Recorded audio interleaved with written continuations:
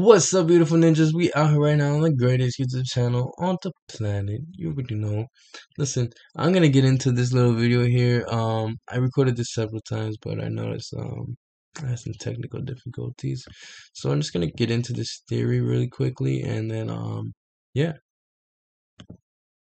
So guys, right now we're looking at the Plato's allegory of the cave. And then I'm just gonna check on this to see how this is looking. All right, this looks great. So uh, right now, um, I'm gonna get into it. Let me just dive straight in. Let me make this a little bigger. Uh, uh-oh. All right. All right.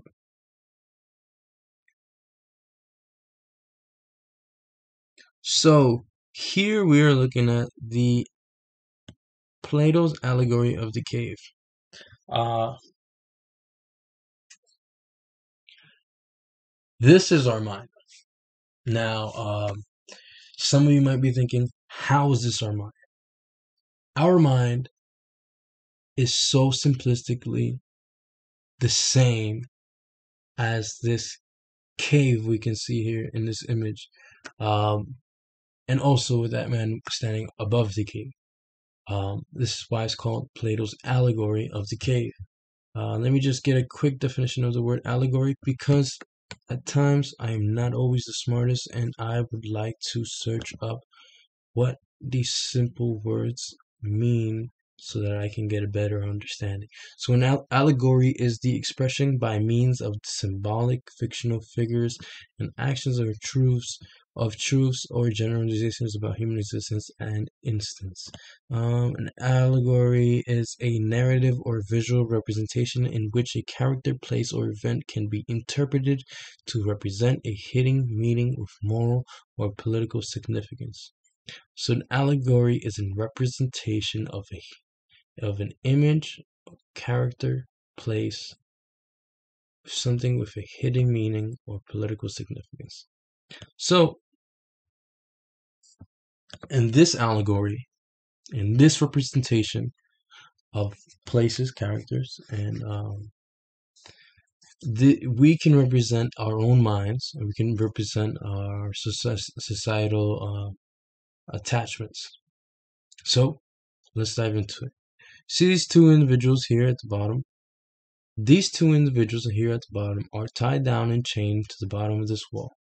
Now they have no understanding of anything behind them, and they have no understanding of the people holding up this uh, these symbols portraying the images on the wall through the firefly. So all these individuals know within their own presence in time and place of reality is this corner of existence, and in this corner of existence, they are portrayed several images which have now become their reality. So he might ask over to his partner, Hey, do you know about the bird? He says, Yes, I see the bird on a daily basis. Bird is next to me. Have you heard about the ring? The ring is here. Yes, the ring is here. Okay, and have you heard about the horse? Yes, the horse. And the vase? Of course, I've heard about the vase. So these individuals know about the horse, the vase, the ring, and the and the bird. This is all they know about the horse, the ring, the horse, and the bird. So the horse and the ring and the horse and the bird and the vase might not be real, but it is real to them. And to them, from their level of existence, these symbols are everything. It is their life. Now, let us move on. Next, we can see four individuals holding up symbols these individuals perhaps do not know anything other than the symbols that they are holding. They are living to hold these symbols. Perhaps they have hidden intentions or hidden meanings, and this is why they hold these symbolic, uh, these symbolic figures. They can be holding these symbolic figures in uh, in relation to the fire being able to cast out these images onto the lower half of of um, onto the uh, onto the people behind the wall. Now, it is also possible that these individuals do not know that there are other individuals behind the wall. It is also possible that these individuals have invested their time and their energy within holding these symbolic images because well these images mean more to them than what it means to anybody else and that's why they hold it. So from that level of experience they are able to portray and cast out those images of symbols which they hold onto the individuals behind the other side of the wall because of the fire. Now let's move up higher. We have two individuals now being able to leave the cave. So it is also possible that these two individuals have realized that their reality is not more is something more than just these images here. It is also possible that these um, two individuals came from the four individuals holding up these symbols and said, There is more to this life than just holding up these symbols. So they have moved on and they have made their way up to the cave. And as you can see, they are climbing, and this man here is holding his hand up like this. He's holding his hand up like this because there is actual light coming in from the outside.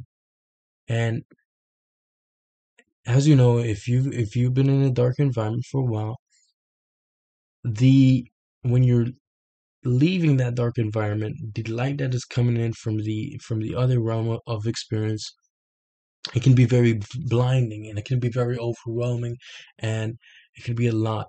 Uh, from this position, this individual has two choices. The individual can either leave, decide to leave the cave, or uh, return back into the cave because uh, he's used to the light and um, he's comfortable and um, he might, you know, um, already just want to go back living the life of uh, this uh, realm of experience and, and uh, experiencing these symbolic uh, symbols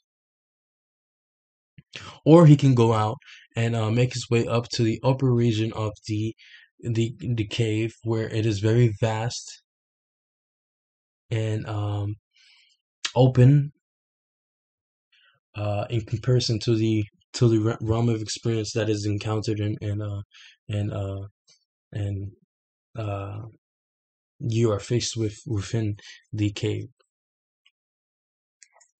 So uh, let's talk about more about this individual up here. This individual up here is um, now out of the cave, and um, he he possibly understands that you know there's more to life than just these images being portrayed on the wall, uh, as so that um, if you've made it this far, even in your own life, you can understand that the world is very more vast than what uh, than living on in, this cave. And you probably met individuals, um, and I'm gonna bring this down to the, such a simplistic manner. Um, so there's imagine there's five people: George, Henry, Tom. Uh, just make it three. Uh, George, Tom, and Henry. So George, Tom, and Henry. Um, possibly George is living down down here in this cave, and George has these symbols in his own life, and uh, these symbols are real to him,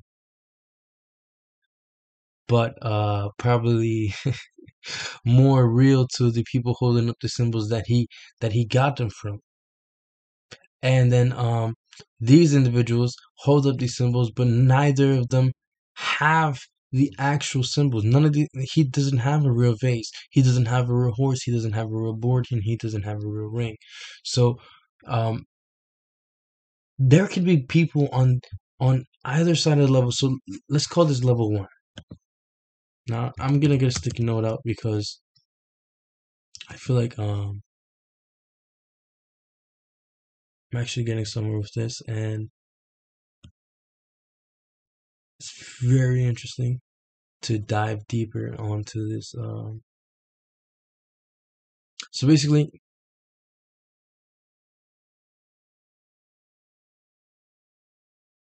Okay. So from level one of experience, we can see these individuals, they are looking at the fake symbols. They have made these fake symbols part of their life.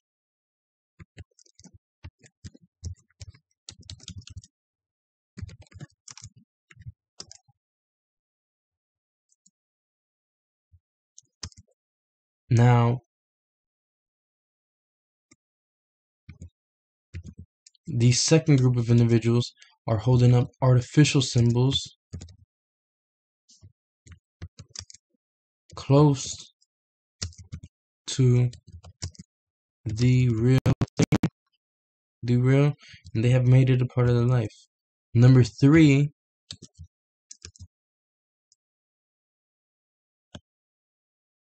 would be these set of individuals who have walked away away from symbols.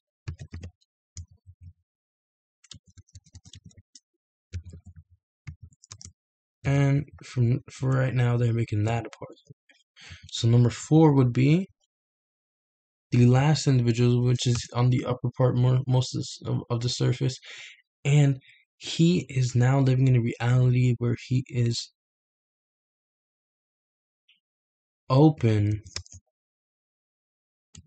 to the world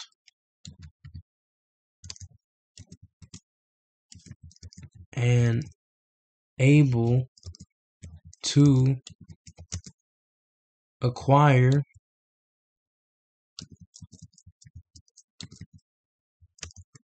the actual object or manifestation.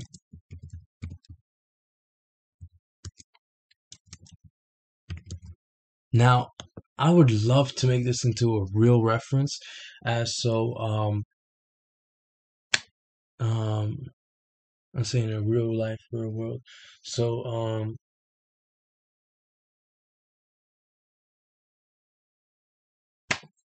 in terms of trap. So this is in terms of trap, the trap world. So from down here on the on the on the actual surface, we see symbols of wealth. Now I'm gonna write this down here. Symbols of wealth. Wealth, power, and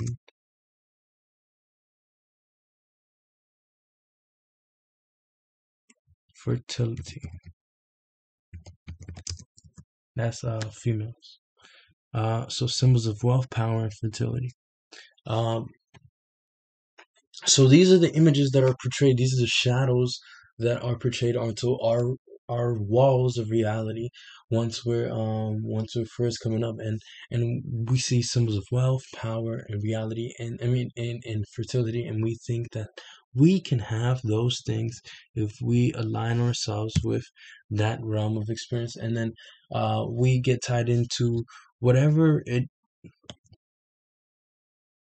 whatever um we have to do in order to hold those symbols up to our own head we if if um wealth power and fertility meant i have to hold hold up a vase i was going to hold up a vase. If wealth power fertility also meant that i would have to hold up the horse or hold up the horse and the ring. Whatever whatever i grew up seeing portrayed on the wall for that wealth power and fertility i would hold up those same symbolic symbols and unknowingly I would be uh, indoctrinating that same thing to the um, people's below me in the realm of experience coming up.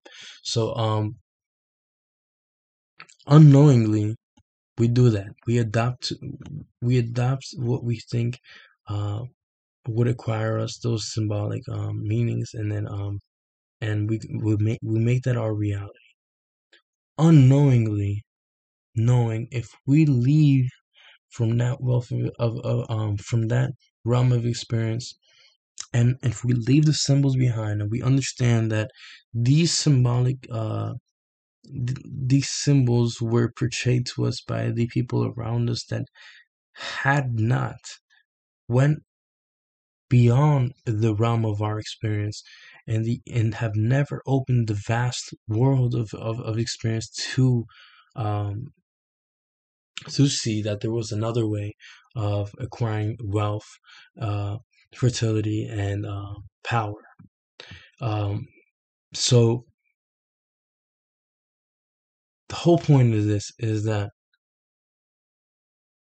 an individual could be subjecting themselves down to a level in, in reality of experience uh, based on um, uh, based on based on symbols portrayed to them um, as they were coming up in the of experience um, um, an individual could be subjecting themselves into a state of reality where they are experiencing only the images subjected to them by other individuals who have never traveled beyond the one state of subjectification of those images glorified within their realm of experience.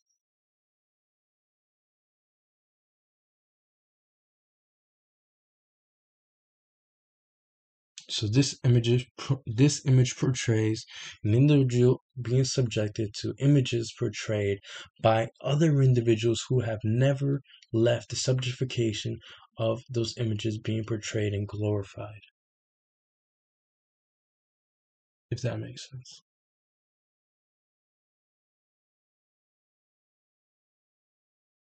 And the moral theme of this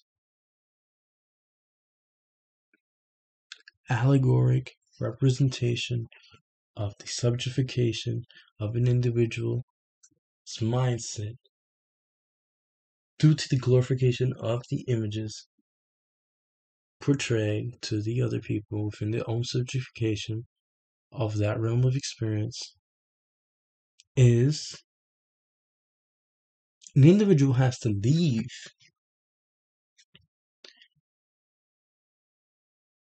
the symbolic subjectification and objectification of the images glorified from their realms of experience in order to experience and overlook the subjectification and glorification of other images portrayed by other individuals.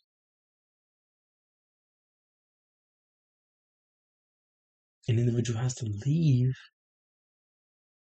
in order to overlook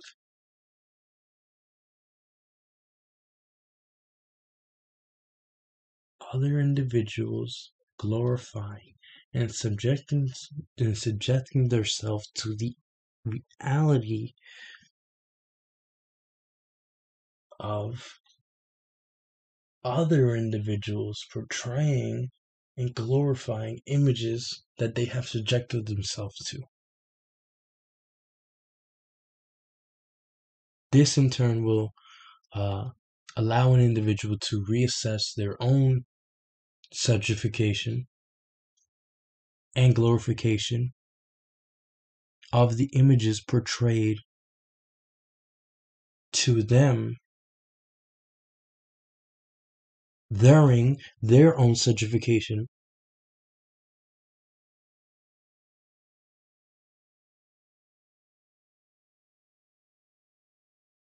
within their up and coming realm of experience. If that makes sense.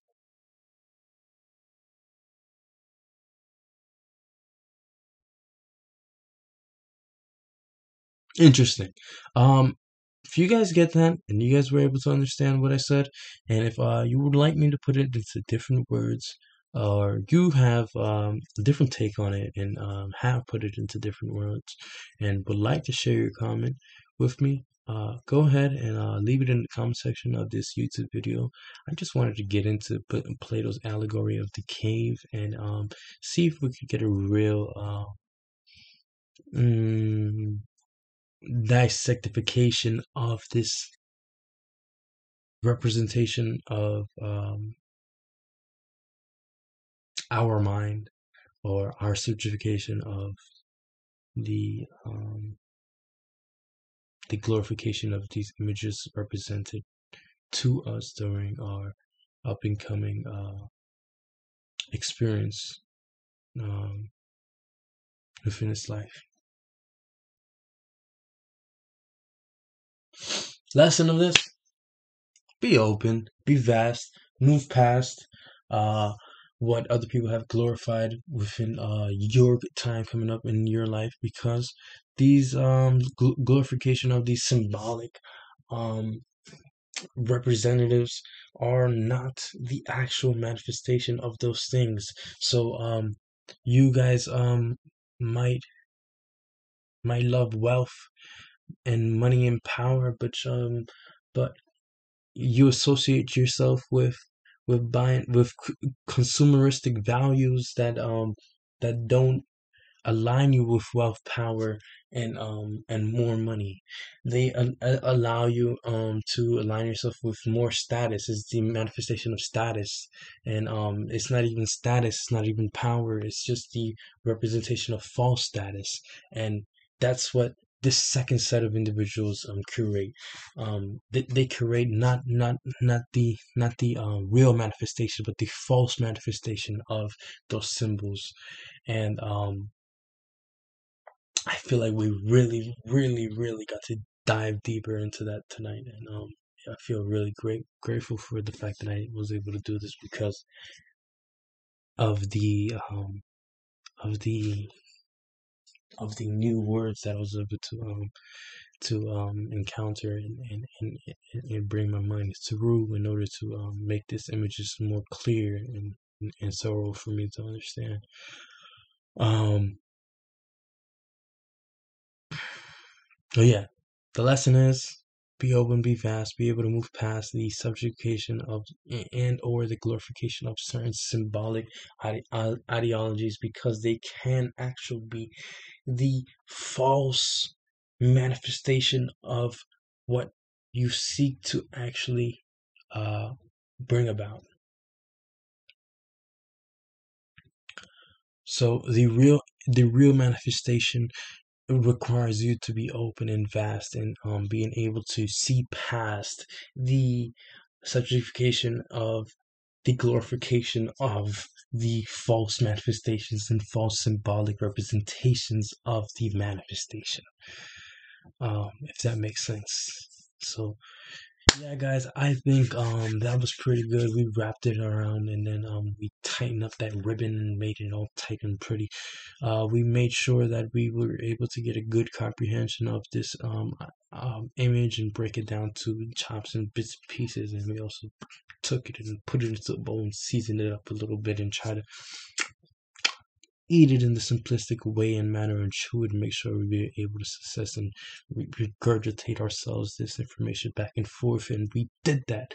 So um, not only do i feel grateful that we did that but we are actually learning and growing higher as individuals because we seek to understand and um, we seek to over over um, overanalyze and reanalyze and reassess our own minds and own psychology and physiology so that this way we are able to move past um, certain barriers or obstacles that we face within our own lives and that we are being able to live our best lives so that we can be individuals that can orchestrate ourselves as uh, uniquely and powerfully and whatever we or our values are glorifying, I guess. So, uh, whatever values and whatever uh, morals and whatever uh, things we ma- want to manifest within our own lives. Um, hopefully, this uh, this video helped you realize whatever you get, whatever you're getting into, whenever uh, people are around you, are representing or glorifying, and um, what kind of false glorifications and false uh, manifestations um, are currently set in your life and patterns, and then um, hopefully you're able to move past that and see a grand, open, vast world with um, with the perspective of you know understanding that there are other individuals stuck within their own you know like little they call it rat races. And um yeah. Move past that be a person of energy be a person of uh, grand um grand grand gratitude i don't know man. Sometimes my, my mind just really wants to say words but um you know um down to our core we can see these images we can we can understand our own intellect and and um, it's, it's all within our core but the more and more practice that we give ourselves the more and more we will able to articulate ourselves and express ourselves as individuals and express this um, unique um, express our unique pattern of uh, of thinking. So yeah have a good one, guys. You already know, you beautiful ninjas. I'll see you later. You already know, uh, this is the greatest YouTube channel on the planet. And ATM Bangaz was just getting at you with the Plato's allegory of the cave. Thank you. Peace.